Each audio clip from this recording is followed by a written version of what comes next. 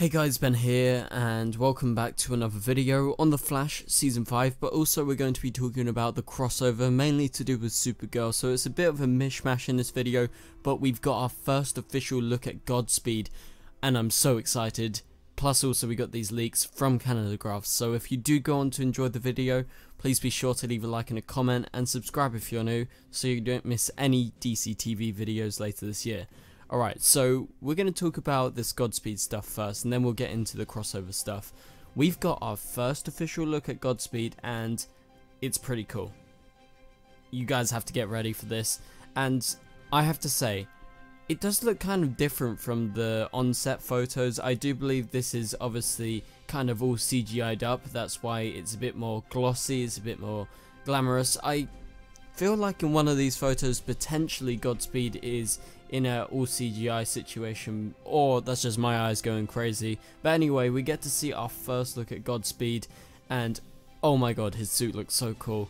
Yeah, they changed their eyes a bit. His eyes are less dark from what we saw in the set photos. They seem to be like they've sort of dulled down a bit of the gold a bit, and I think this is just because this is not just like a straight up photo from the set, this is just after they've done some touch ups I guess to gloss it over, but you get to see him in his full Godspeed look and this is happening in just tomorrow actually, just a few days time, so wow, I can't wait to finally see Godspeed in live action, I'm a massive fan of his in the comics, because he came in recently, he was August Hart, and he wanted to become an agent of justice and do what the Flash couldn't do and actually kill the criminals, get rid of the scum, and so essentially turned into a villain. He started taking all the speedsters' powers after the Speed Force storm. There was loads of speedsters. That's how he got his powers. And so he goes around killing all these speedsters and he essentially becomes a villain. He thinks he's a hero of sorts, but then obviously the Flash has to stop him. So I don't know how far they're going to actually follow that in the TV show. Hopefully he gets to stick around. Hopefully he's not just a one and done thing like, say, Trajectory. That would suck so hard because he's a massive character. So I'm fingers crossed hoping either he appears a couple more times this season or he actually appears next season as the main villain. This is like a teaser in the future. So yeah, you see him and his lightning is there it's officially confirmed his lightning is going to be white lightning. Doesn't even look like it's got like any yellow streaks around it. Maybe it's different when he's running, but for now it's just white lightning just coursing around his body a bit like how Zoom's lightning actually goes around. That's what it kind of looks like. So yeah, very similar to Zoom and compared to the set photos like I mentioned it looks a bit different because I think they definitely have touched it up and done some alterations digitally but we don't know who's actually under the mask right now. All we know is it's a stunt actor who played Zoom and has done many of these characters. So whether or not they will reveal that, say, August Hart is this person, or maybe they change the comics and it's someone we know on the TV show, and maybe they save this for season 6, like what Arrow did with Vigilante, but obviously in a better way than what they did with Vigilante because that wasn't very good. And, you know, they're making the season 6 villain and then you think, oh, it's going to be August Hart, it's going to be August Hart. We know a character called August Hart in the TV show, maybe they introduce that next season, but it turns out it's someone else. A bit like how they teased that Jay Garrick in season 2 was Hunter Zolomon, but then the real Jay Garrick was the man in the Iron Mask. So I think if they do something like that, maybe change his origin a bit, that would be super exciting. So I'm really, really hoping he stays around for season 6, but yeah, so that is the first photo of him. He's got the lightning coursing around him. You see the upper part of his body and his mask. It's all white and yeah, amazing suit. So we go on to the next photo. So they've released two official photos and there's this one inside a lab. And so this doesn't look like Star Labs at all, it's too white, too bright, and maybe that's a bit why I think it looks a kind of a bit artificial, it's because the inside of this building looks really, really polished, and obviously his suit looks very glossy and polished and this is after special effects because you can see the lightning going around.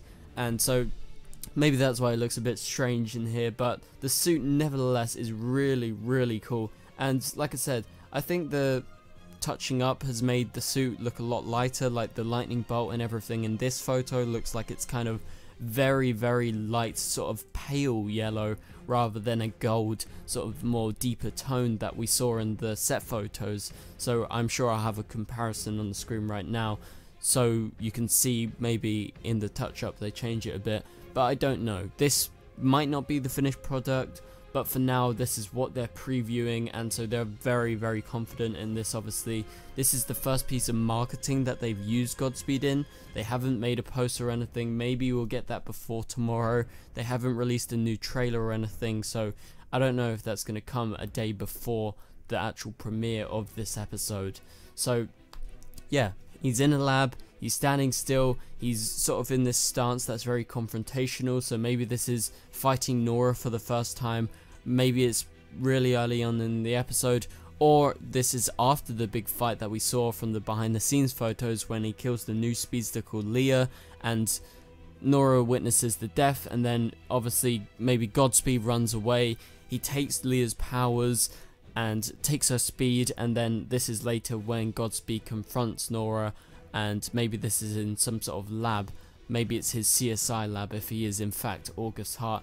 I don't know but it doesn't look like it's any specific place that we've seen already, so I look forward to that. So these are just some internal shots that obviously we didn't get to see from the outside. But yeah, so that is amazing. I absolutely can't wait to see Godspeed in tomorrow's episode. So I'll have my review out for that, especially soon after when it comes out. So I'm really excited to talk about that tomorrow. Alright, so let's move on to talk about this crossover stuff, mainly to do with Supergirl. So it's been confirmed that in the Supergirl Season 4 finale, LaMonica Garrett, who played the Monitor in the Elseworlds crossover, is going to be officially appearing. And so this is coming from Canadagraphs, so check out his blog. He had this whole page on the finale. Maybe I'll do another video on the finale, but I thought I would mention it in this video because obviously the Godspeed thing is not too big a thing to talk about. Obviously it's a massive moment to talk about, but there's not too much content to go over. So yeah, over on Canadagraphs' blog you can actually see the descripted details of what he was able to get. So he says, as I reported earlier this week, with the first shot of him on the Arrowverse set outside of the Elseworlds crossover was on the Arrow set earlier this week. I can confirm he is going to be on Supergirl 2 and he is there looking at someone's dead body.